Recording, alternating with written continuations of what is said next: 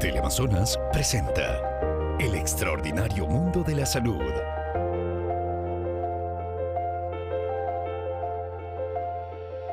Hola amigos, muy buenas noches. Soy el doctor Esteban Ortiz y para mí es un gusto estrenar el día de hoy El extraordinario mundo de la salud. Una propuesta que busca llevar a sus hogares la información científica más actualizada en relación a temas de salud pública.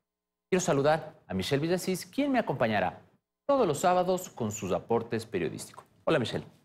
Hola Esteban, amigos televidentes, muy buenas noches. Para mí es un gusto poder acompañarlos en este nuevo programa que nos ayudará a mejorar nuestra calidad de vida. Quiero contarles que durante la semana plantearemos en nuestra cuenta de Twitter el tema de cada sábado y como nos importa mucho su salud, la de su familia y la de su entorno, ustedes podrán contarnos todas sus inquietudes en ella. Síganos y escríbanos a arroba. Esteban, nuestro primer programa es sobre la obesidad en el país. Empecemos.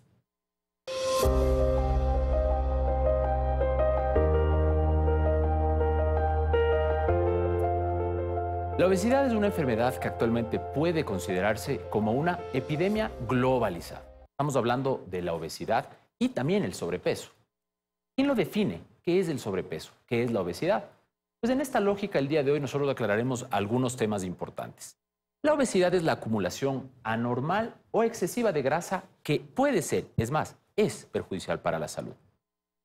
¿Cómo nosotros medimos quién tiene sobrepeso y quién tiene obesidad? Pues básicamente el peso de la persona es fundamental, pero también tenemos que entender la talla y la estatura como fundamentales parámetros para definir qué es la obesidad. En el Ecuador nosotros utilizamos el sistema métrico, kilos o libras. 2.2 libras es igual a un kilo. ¿Cómo nosotros utilizamos esto para sacar el índice de masa corporal? Pues básicamente este es un número que se calcula en base al peso y la estatura de las personas. Vean ustedes en este cuadro cómo el índice de masa corporal menor a 18.5 es una baja de peso, mientras que las personas que tienen entre 18.5 hasta 24.9 pues tienen un peso considerado como normal. Las personas que ya con esta fórmula tienen entre 25 a 29.9 se las considera tener sobrepeso. Y todo lo que está por arriba de 30 pues tiene ya la obesidad y que definitivamente por encima de 40 es obesidad mórbida. Nosotros podemos ver en este sentido que los datos que se presentan a nivel mundial son importantísimos. Las estadísticas de la Organización Mundial de la Salud y del INEC a nivel local nos dice que la prevalencia mundial de la obesidad ha triplicado desde 1975 hasta el 2016. Es decir, en el 2016 más de 1.9 billones de adultos mayores en el planeta tenían sobrepeso. Y de estos, más de 650 millones eran obesos. Vean ustedes que estos datos son sumamente importantes. Fíjense ustedes que no solo la obesidad afecta a los adultos, y a los niños, más de 39 millones de niños tenían sobrepeso y obesidad en este año. Los países donde existe más sobrepeso y más obesidad son aquellos países que usualmente tienen mayor mortalidad por enfermedades crónicas adquiridas durante toda la vida. Vean ustedes que de los niños menores de 5 años, para el 2020, nosotros teníamos más de 340 millones de niños y adolescentes ya con problemas de sobrepeso y obesidad. Entre 5 y 19 años, pues nosotros ya teníamos pacientes con obesidad clara, es decir, en el 2016, hasta el 39% de los adultos en el Ecuador. Y vean ustedes, un número que es superior a 4.8 millones de ecuatorianos ya tenían sobrepeso u obesidad. Nosotros podemos decir que alrededor del 13% de la población adulta pues tiene obesidad en todo el planeta, pero los países en vías de desarrollo como el Ecuador pues estamos aumentando la velocidad de crecimiento de esta enfermedad. Vean ustedes que la encuesta nacional de salud y nutrición, la denominada En Salud en el Ecuador, indicó que en el 62.8% de las personas ya nosotros podíamos tener algo de obesidad o sobrepeso. ¿Quiénes tienen más obesidad? Pues las mujeres que los hombres, con un 26.7% de obesidad en las mujeres, pero los hombres tenemos más sobrepeso, es decir, tenemos un 43.4% más que las mujeres. En todas las regiones del Ecuador, sin lugar a duda, existe sobrepeso u obesidad. Sin embargo, nos llama la atención que, por ejemplo, las Islas Galápagos, como ustedes pueden ver aquí, las Islas Galápagos lideran la tasa de obesidad con un 30% en todo el Ecuador y un 27.2% de sobrepeso. Seguramente hay muchos factores que hay que analizar, más eh, vida urbana y se ha registrado que definitivamente vivir en las ciudades se asocia con mayor fuerza con el desarrollo de sobrepeso y obesidad. Para el 2018 se revela que 35 de cada 100 niños entre 5 a 11 años ya nosotros los podemos catalogar como con sobrepeso u obesidad. ¿Cuáles son las causas de este sobrepeso? No es necesariamente solo comer en exceso como nosotros pensaríamos. La obesidad es una acumulación de distintos factores. Los estudios demuestran, básicamente a nivel mundial y algunos estudios locales, que las poblaciones están con mayor riesgo son aquellas que, por ejemplo, tienen factores o hábitos que nosotros no podemos cambiar. El hecho de ser mujer, el hecho de ser mayor. Por ejemplo, el hecho de ser mujer, cuando una niña va convirtiéndose en adolescente y en mujer y se embaraza y entra en la menopausia, aumenta el riesgo de obesidad. La obesidad también se presenta en mujeres que ustedes van a poder identificar que conforme avanza la edad, más proporción de obesidad. Las mujeres con ovarios poliquísticos, algunas otras enfermedades endocrinas. La edad, conforme nos vamos envejeciendo, nuestra edad, pues definitivamente hace que disminuya nuestro metabolismo. Y también disminuye la cantidad de calorías que nosotros quemamos. Nuestro estilo de vida cambia. El grupo étnico, si bien en el Ecuador somos un cúmulo de etnias, pues en los estudios de los Estados Unidos se establece que la obesidad es mucho más frecuente en afrodescendientes y en personas de origen hispano. Vean ustedes que desde el punto de vista de la alimentación es fundamental. En los últimos 50 años nosotros cada vez comemos peor. La tendencia universal, la globalización, es comer rápido y comer lleno de grasa, lleno de sal, lleno de azúcar. Hay que ser sedentarios para tener, aumentar el peso. Vean ustedes que la automatización de las distintas labores, estar en casa, el teletrabajo y demás, han aumentado el riesgo de convertirnos en sobrepeso. Lo mismo sucede con las personas que permanecen en casa y que no tienen actividades tan activas como lo veríamos nosotros en zonas rurales. ¿Cuáles son las causas que se asocian a la obesidad? Pues esto lo veremos en el siguiente corte comercial.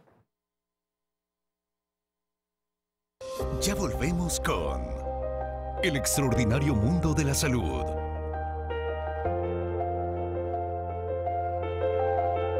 Regresamos con El extraordinario mundo de la salud. Estamos ya de vuelta en el primer programa del extraordinario mundo de la salud y es momento de buscar ejemplos. Michelle.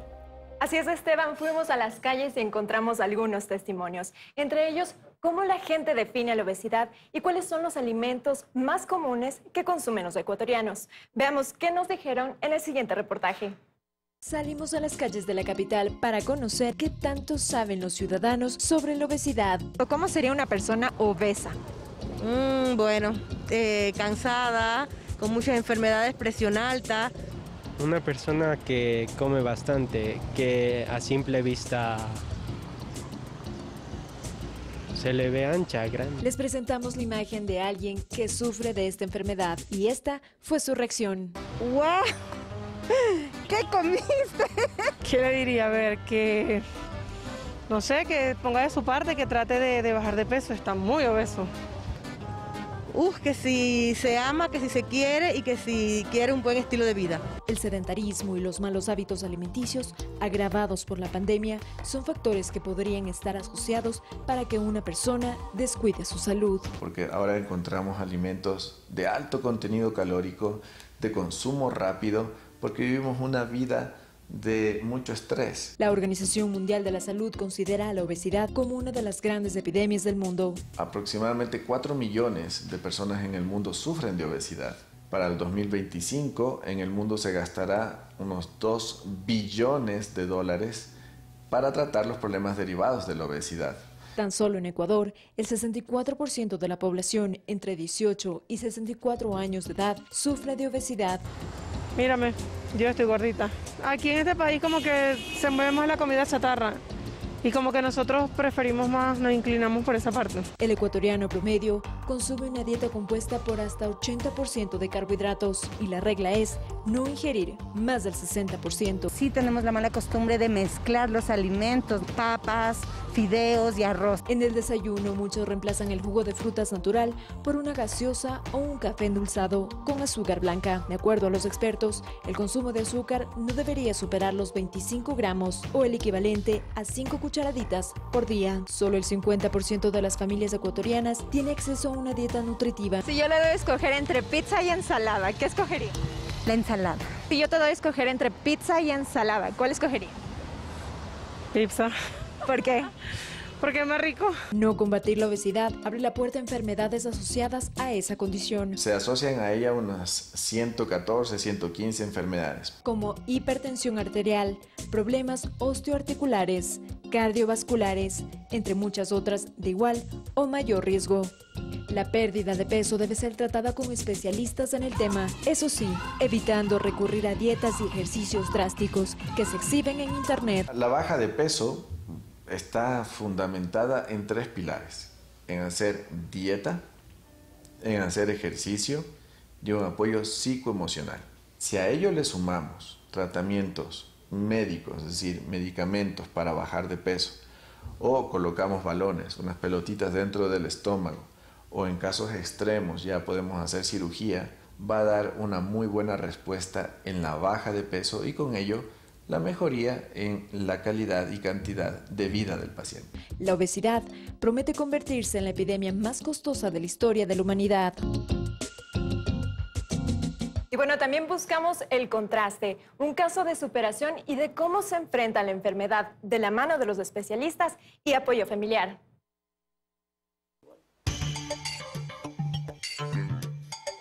Me llamo Laura Jacome, tengo 57 años y soy médico. No siempre tuve sobrepeso, esto empezó mm, hace 25 años exactamente, a partir de mi tercer parto. Y yo tenía que comer para producir leche. Entonces fue una época en que comí, comí, comí, comí.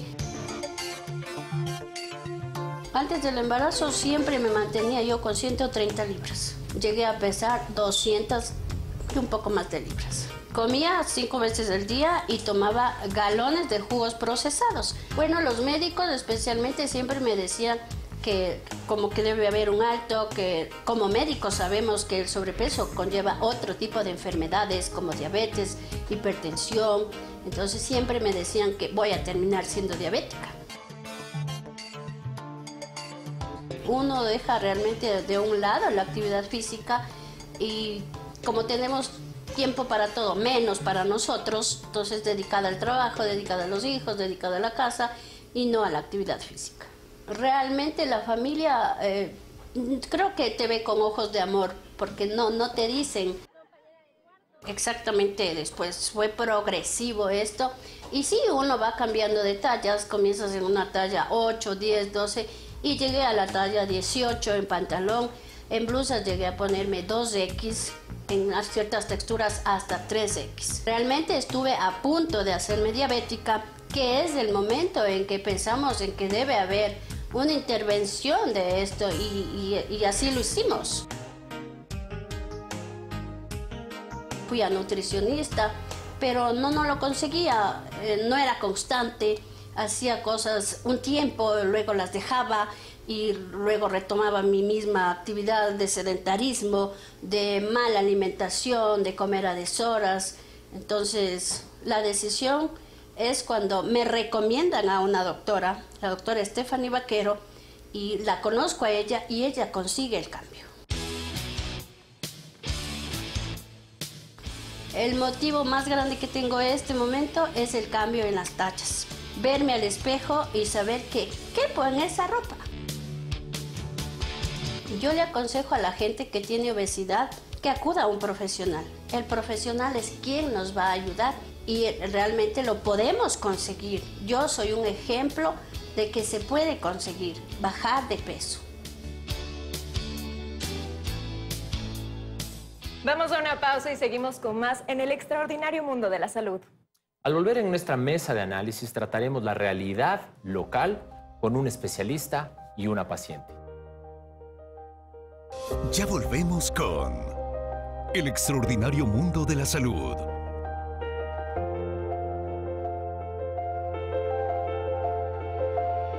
Regresamos con El extraordinario mundo de la salud.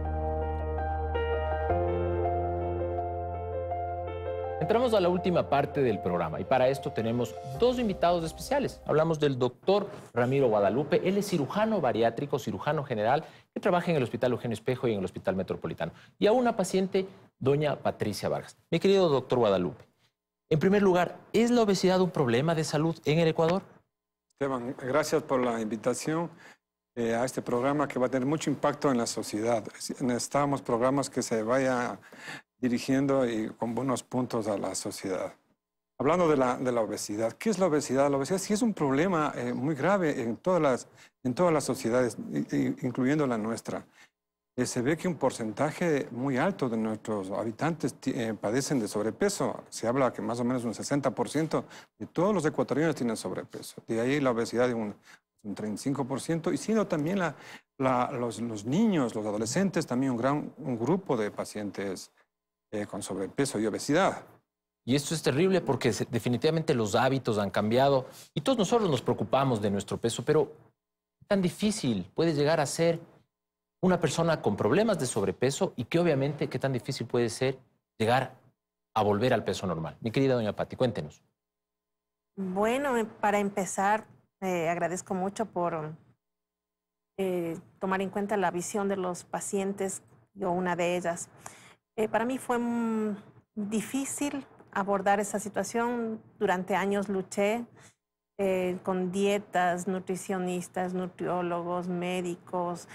Y bueno, la situación mía no tenía solución porque a pesar de que me restringía muchísimo y muchas veces en rajatabla eh, llegué a tener hasta gastritis para tratar de bajar de peso, pero eso no funcionaba, no funcionaba para nada. Y obviamente la cirugía es, eh, hay que pensársela, ¿no? Y yo creo que más por miedos, a veces eh, eh, prejuicios, temores, uno no se termina de decidir.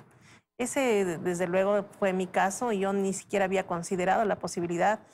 Si no hubiera sido porque una hernia muy grande me empezó a hacer la vida muy, muy, muy difícil, el reflujo, eh, a eso se sumó también asma. Eh, eso básicamente fue limitando mis posibilidades de desenvolverme en la vida diaria, ¿no? Limitando eh, su capacidad de moverse. y eso es importantísimo, doctor, porque, porque claro, y perdón que le interrumpa, en este caso pues la obesidad conlleva otras patologías. ¿Qué conlleva la obesidad en general? Es importante entender que la obesidad eh, va acarreando unas patologías que se llaman comorbilidades, que son enfermedades que se producen por la obesidad y la obesidad las agrava. Y si es que bajan de peso, mejora. Desaparecen. ¿Cuáles son? Tenemos en la cabeza la diabetes. Saben que la diabetes es un problema grave y serio que ataca muchos órganos y, produce mortalidad grande en los pacientes. Tenemos pues, la obesidad, la hipertensión, el apnea del sueño, tenemos eh, problemas eh, relacionados al reflujo, eh, tenemos problemas de ovario poliquístico, tenemos problemas que agravan al, paciente y pueden llevar a una mortalidad. Entonces, quiero solo eh, regresar a esto del apnea de sueño. La gente no entiende. A veces nosotros consideramos que el roncar en la noche muy fuerte puede ser normal. ¿Qué es el apnea de sueño y por qué se asocia a la obesidad? Justamente eh, el apnea del sueño es un punto grave eh, debido a que en la obesidad todos los órganos están, engrosados, están con, obesidad. Y alteran el flujo, el flujo de, del oxígeno a los pulmones y de eso a la al cerebro y producen alteraciones graves, ¿no es cierto? Pues los pacientes pasan, eh, dejan de respirar, tanto por el peso, y, los pacientes no, no, duermen adecuadamente, pasan el día, al día siguiente pasan despiertos, eh, pasan dormidos, se llama, se llama el síndrome de Piwi. Los pacientes están, van al trabajo, se quedan sentados y dejan de respirar. Entonces pasan cansados. Hay una alteración que tarde o tardíamente van a haber problemas muy graves en el paciente. es decir, nosotros eh, tenemos una serie de problemas relacionados a la obesidad, problemas de salud que derivan, pues inclusive en cáncer y obviamente muerte prematura. Pero desde el punto de vista ya de la persona, porque como médico es fácil recomendar, no fume, coma bien, haga ejercicio. Pero, doña Pati, usted seguramente trató esto muchísimo. ¿Cuándo usted vio, por ejemplo, que después de luchar años con esto, definitivamente la solución, ya nos contará el doctor Guadalupe quiénes son candidatos a operarse, ¿cuándo fue la solución? Pues una cirugía eh, bariátrica, ¿no?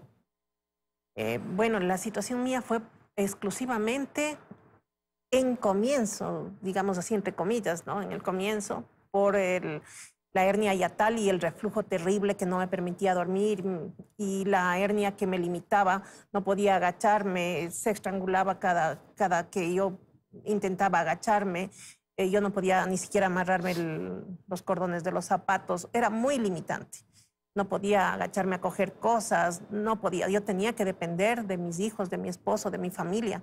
Entonces eso le va restando a una autoestima, le va restando eh, independencia. Y funcionalidad, ¿no? Sí, eh, justamente porque uno no puede funcionar adecuadamente en la vida diaria. Perfecto. es muy limitante. perdón que le corte nuevamente, pero mi querido doctor, queremos que la gente que nos escucha entienda yo me veo un poquito con sobrepeso, soy candidato a operarme. ¿Quién es candidato ya a pasar a dejar de lado las dietas y estos tipos de, tratamientos allá un procedimiento quirúrgico? Bueno, hay muchos factores, hay muchas fórmulas y factores, pero el que más eh, es eh, desarrollado y el que más es, más común se llama el índice de masa corporal. Es, una fórmula que es el peso, uno en kilos eh, dividido a la tasa al cuadrado. Eso nos da un dato que normal es 25. Está de 25 hasta 29.9 es sobrepeso. Pasamos de 30 ya es obesidad. Es una obesidad grado 1 y llegamos a 30, hasta 35 grado 2 y a 40 ya es la obesidad mórbida. Los pacientes que tienen un índice de masa corporal de 40 es uno de los datos que nos dicen que es ese candidato para la cirugía.